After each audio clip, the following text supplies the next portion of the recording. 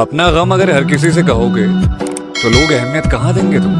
तो अपने दिल की बात सिर्फ उन्हीं से कहो जो दिल के काफी करीब बाकी गम हो या खुशी दुनिया पूछे कैसे हो तो कहना सब मजे में